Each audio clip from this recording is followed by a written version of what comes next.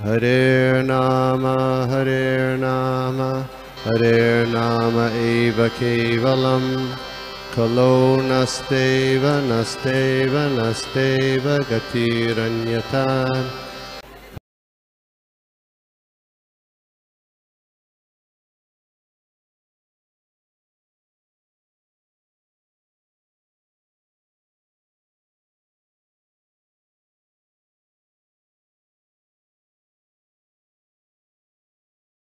नानाशास्त्रविचारणे कलिपुनश्वधर्म संस्थापको लोकानां हितकारिणो त्रिभुवन मन्यो शरण्याकरो।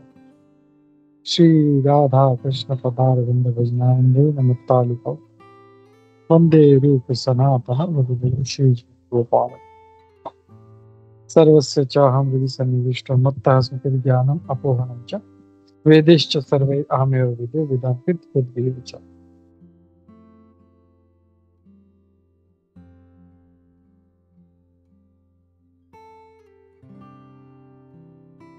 हरे कृष्ण, हम लोग पढ़ रहे हैं नारद भक्ति सूत्र।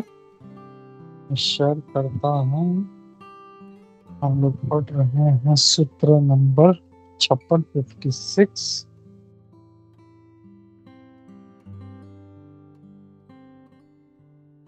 तो यहाँ पे आगे महाराज कह रहे हैं the preparatory stages of bhakti after secondary devotion तो हम देख रहे थे अभी तक जो थे मुख्य जो है भक्ति की बात हो रही थी। अब जो है ये सेकेंडरी भक्ति की बात कर रहे थे गौण भक्ति की। तो इसमें जो स्टेजेस हैं ये उन लोगों के लिए बहुत ज़रूरी है जो अभी भी प्रकृति के गुणों से प्रभावित है। यानी ये हम जैसे लोगों के लिए है। हम लोग बहुत रजोगुणी हैं तमोगुणी हैं हम लोग।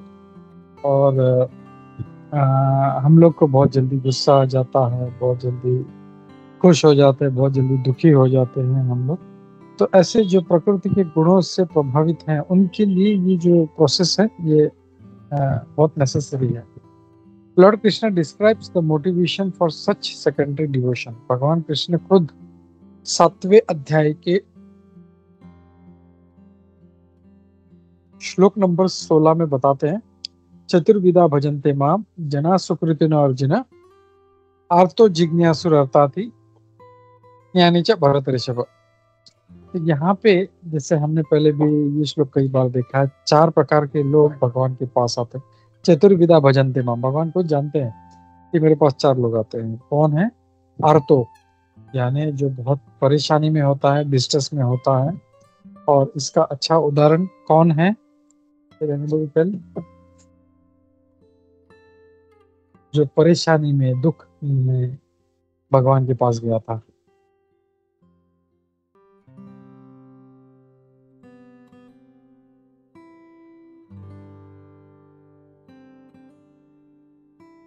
हरे कृष्णा प्रभु अब क्वेश्चन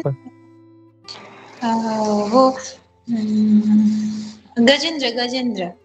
Yes very good जो दुख में परेशानी में था वो डिस्ट्रेस में था उसका पाँव मगरमच्छ ने पकड़ लिया था और वो इतना परेशान था उसको पहले लगा कि मैं बच जाऊँगा। लेकिन जब देखा मेरे को कोई बचाने वाला नहीं है। सारे मेरे पूरा हाथी का जो समूह था पूरे फ्रेंड्स फैमिली सब छोड़ के चले गए। इवन बीवी बच्चे छोड़ के चले गए। तब फिर उसने भगवान को पुकारा। और तो फिर जिज्ञासु, जिनको प्रश्न होते हैं, अरे, ये कैसे होता है? अरे, ये कैसे होता है? मृत्यु के बाद कहाँ जाते हैं? तो हमारा मृत्यु क्यों होता है? जन्म कैसे होता तो ऐसे जो जिज्ञासु लोग है, वो फिर अर्थार्थी। तो अर्थार्थी यानी जिनको धन का आवश्यकता होता है। तो धन का आवश्यकता के लिए कौन गया था? भगवान के पास?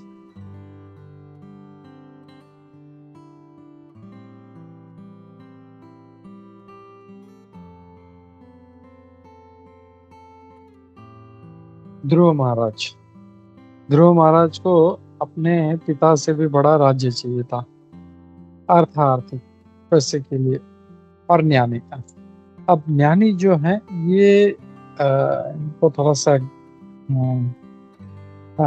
ज्ञान है इनको और ये ज्ञान प्राप्त करने के लिए आते हैं। इसमें आ, हम लोग देखते हैं। ट्रांसलेशन में भी इधर प्रभुपा जी क्या कह रहे हैं कि हे, भरत श्रेष्ठ, चार प्रकार के लोग मेरे पास आते हैं जो मेरी भक्ति करते हैं।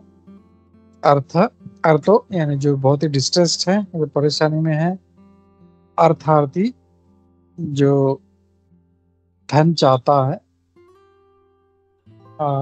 इंक्विजिटिव जो जिज्ञासु है और जो ज्ञान को ज्ञान यानी कोई भी ज्ञान नहीं, यानी सोना कहाँ मिलेगा या सोना कैसे बनाना है, या चंद्रमा पे क्या है, वैसा ज्ञान। नहीं ज्ञानी जब यहाँ पे कहा गया है तो वो ज्ञानी सिर्फ़ भगवान के ज्ञान के बारे में जानना चाहता है। भगवान कौन है, कैसे हैं, वो कहाँ रहते हैं, कैसे लीला करते हैं, उनके भक्त कैसे। सिर्फ़ भगवान से संबंधित ज्ञान के बारे में वो जानना चाहते हैं तो उनको ज्ञानी साधारण जो है ज्ञानी जो भौतिक ज्ञानी उनके बारे में यहाँ पे भगवान नहीं कह रहे तो ये चार लोग आते हैं।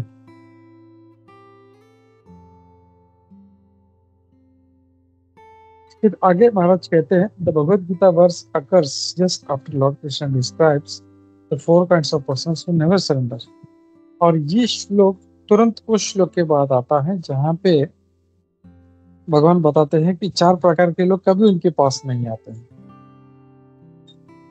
तो जो चार प्रकार के लोग कभी भगवान के पास नहीं आते, वो कौन है? दुष्कृत, मूढ़, नराधम और माया अपरत ज्ञान ये लोग आसुरी भाव आश्रित असुर भाव में ये लोग आश्रित रहते हैं। इनको यहाँ पे क्या कह रहे हैं? वो दुष्कृत, जो बहुत ही मूड है मतलब फुलिश यहाँ पे भगवान कह रहे हैं। मूड यानी मूर्ख, इनको कुछ पता नहीं। और नराधम, जो लोवेस्ट ऑफ़ मैन नरों में भी अधम है मतलब नर के नर से भी नीचे हैं वो मतलब मनुष्य जाति भी नहीं है, मनुष्य के नीचे के लोग हैं जो जो कभी भगवान के बारे में नहीं सोचते। फिर माया अपरत ज्ञान, जिनका ज्ञान माया ने अपहरण कर लिया है, फिर आसुरिन भाव जो नास्तिक जो जैसे राक्षस लोग होते हैं, वो कभी भगवान को नहीं मानते। वो ऐसे लोग कभी मेरे पास नहीं आते और इसके तुरंत बाद कौन लोग नहीं आते, उनके बाद बताते हैं कि कौन लोग मेरे पास आते हैं। तो ये इसमें कहा गया है। फिर यहाँ पे कह रहे हैं कि जो भगवान के पास आते हैं, वो अपनी इच्छाएँ पूर्ण करने के लिए आते हैं और उसके लिए इनको सुकृत कहा गया है। और जो पहले वाले हैं, जो नहीं आते, उनको दुष्कृत कहा गया है। एक जो सुकृत है, उनका अच्छा गुण क्या है कि वो भगवान की तरफ़ अपना मुख मोड़ लिया है, भगवान की तरफ़ अपना मुख करते हैं। जैसे श्रीमद भागवतम के दूसरे स्कंद के तीसरे अध्याय के श्लोक नंबर दस में सुखदेव गोस्वामी महाराज सबको प्रेरणा दे रहे हैं कि चाहे जो भी हो, हमें भगवान के पास जाना बहुत फ़ेमस श्लोक है, अकाम सर्व कामो मोक्ष काम उदार तीव्रेण भक्ति योगेन यजेत पुरुषम परम।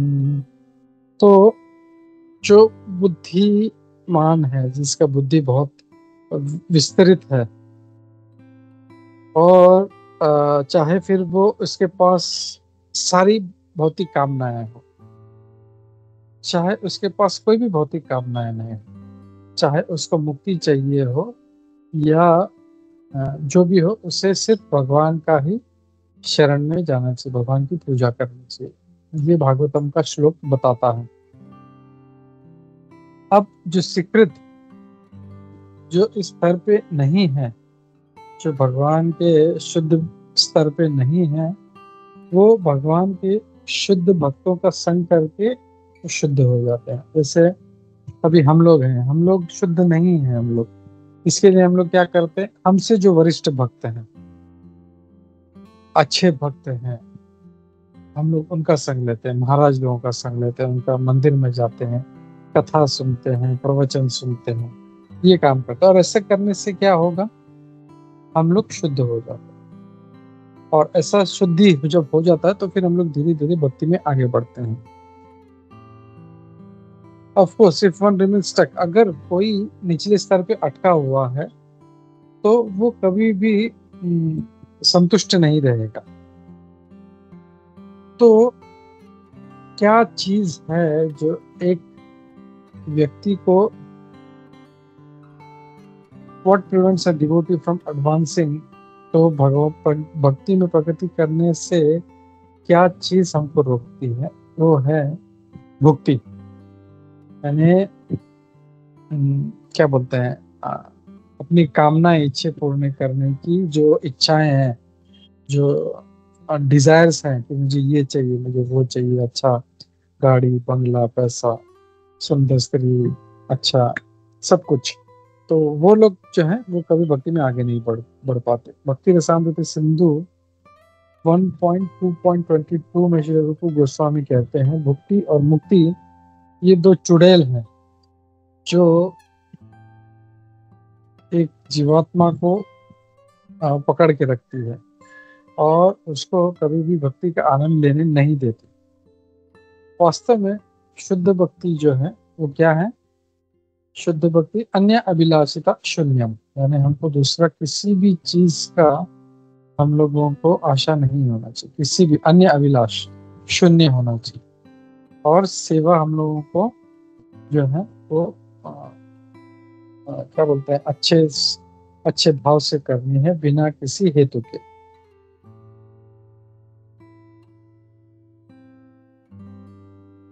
अब जो devotee who devotee who serve the Christian order to satisfy the selfish desire for सकाम भक्त। अब जो लोग भगवान की सेवा अपनी इच्छा पूर्ण करने के लिए करते हैं उनको सकाम भक्त कहा, गया। तो यहाँ पे अलग अलग प्रकार के जैसे पहले भी देखा अकाम भक्त जिसको कोई इच्छा नहीं फिर सर्व काम है सब सब इच्छा है तो पैसा चाहिए सब कुछ चाहिए उसको। तो अब जो भगवान के पास जाते हैं अपनी इच्छा पूर्ण करने के लिए उसको कहते हैं सकाम भक्त।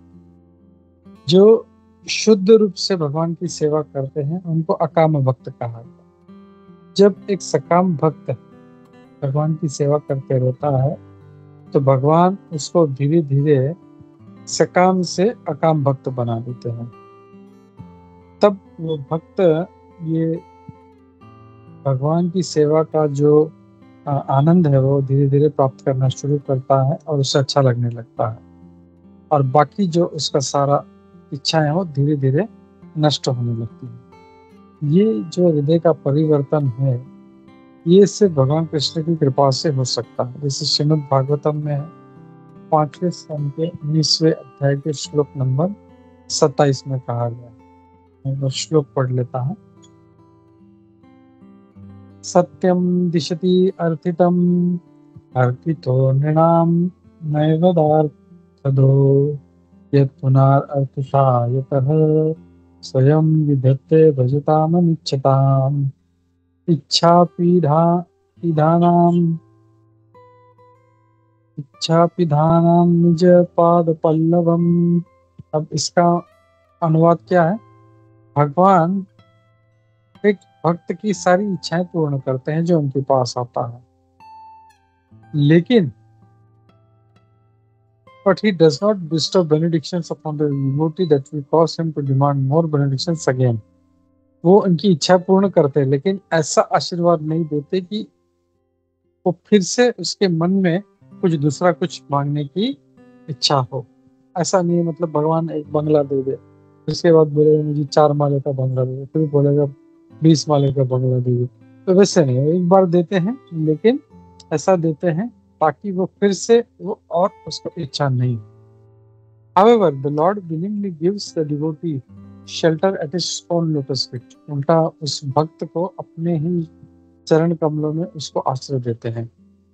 फिर भले ही वो उसे न चाहता हो यानी उस भक्त का इच्छा नहीं है वो तो अपना आ, आ, वो अपना कुछ कुछ मांगने के लिए आया था इच्छा पूर्ण करने के लिए आया था और ऐसा बहुत अच्छा उदाहरण है ध्रुव महाराज। ध्रुव महाराज भगवान के पास तपस्या क्यों कर रहे थे? उसको अपने पिता से बड़ा जो है राज्य चाहिए था। लेकिन भगवान ने क्या किया, उसको उससे बड़ा राज तो दिया ही दिया प्लस उसको अपने चरणों में भी रखा, उसको अपना भक्ति भी दिया उसे। And that shelter satisfies all desires और ये जो उनका शरण है, ये हमको हमारी सारी इच्छाएँ पूर्ण कर देता है। यही भगवान की स्पेशल कृपा है। तो हम लोग जब बोलते हैं भगवान का कृपा तो भगवान का कृपा क्या है? कि हमा हमें कुछ मांगने की इच्छा नहीं होती, सिर्फ़ भक्ति करने की इच्छा होती है। यही हम लोग बोल सकते हैं, भगवान की स्पेशल कृपा है। फिर आगे the supreme person of God fulfils the mutton desires of a devotee approaches him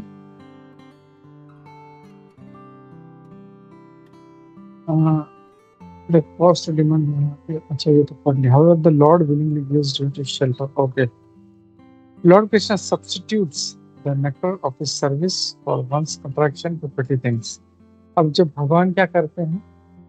जो भक्त का जो इच्छाएँ हैं, उसको निकाल कर अपने सेवा का आकर्षण उसको दे देते हैं। समझो कोई भक्त है, जो कुछ इच्छाएँ हैं, उसकी गाड़ी, बंगला, पैसा तो भगवान धीरे धीरे उसको हटाकर अपनी सेवा का आकर्षण उसको दे देते हैं। Who else could do this? ये ऐसा और कौन कर सकता? ये सिर्फ़ परम पुरुषोत्तम। जो भगवान है, वो कृपालु है, वही कर सकते हैं। अब ये जो गौण भक्ति है जो निचले स्तर का भक्ति है, ये वहाँ पे हम लोग को हमेशा रहने के लिए नहीं है परमानेंट रेजिडेंस के लिए नहीं है। ये उनका एक एक स्तर है, जहाँ से हम भक्ति में आगे बढ़ सकते हैं। तो एक स्टेप है खाली। जिसे ध्रुव महाराज के उदाहरण में देखते हैं वो भगवान के पास गया उसको राज्य भी मिला लेकिन उससे फिर वो आगे के स्टेप में बढ़ा और भगवान का भक्ति प्राप्त हुआ Since any progress, the conditions for meets towards the lotus. तो भक्त का कोई भी जो प्रयास है भगवान के की तरफ़ वो आ, वो जो है वो बहुत ही अनुकूल है उस भक्त के लिए, उसके लिए अच्छा ही करेगा। Secondary devotion service is not unimportant for him और उसके लिए जो गौण भक्ति है, वो तुच्छ नहीं है। जैसे एक बेबी जो है, वो पहला कदम लेता है तो कैसे धीरे धीरे सीखता है तो वैसे ही एक जो भक्त है, जो गौण भक्ति कर रहा है, वो भी धीरे धीरे सीखता है। यहाँ पे ये सूत्र नंबर 56 खत्म होता है, मैं रुकता हूँ। 57 हम लोग कड़ पढ़ कल पढ़ते हैं, किसी का कोई प्रश्न है तो हम लोग लेते हैं। नहीं तो हम लोग श्रीमद भागवतम पढ़ते हैं। हरे कृष्ण।